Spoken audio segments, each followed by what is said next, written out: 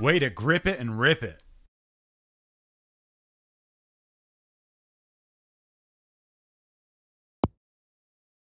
That's a huge drive.